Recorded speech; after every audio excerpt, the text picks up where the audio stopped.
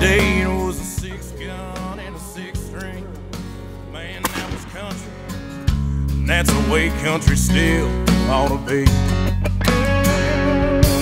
It was lived, not taught. It was earned, not bought. Had to put in the work to get to the top, let me tell you. But I think's really gone wrong.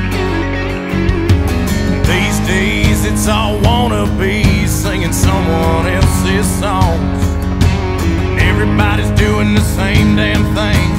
Where have the rebels gone? Cause we don't need another pretty boy singing pretty songs. Fake country boys doing country.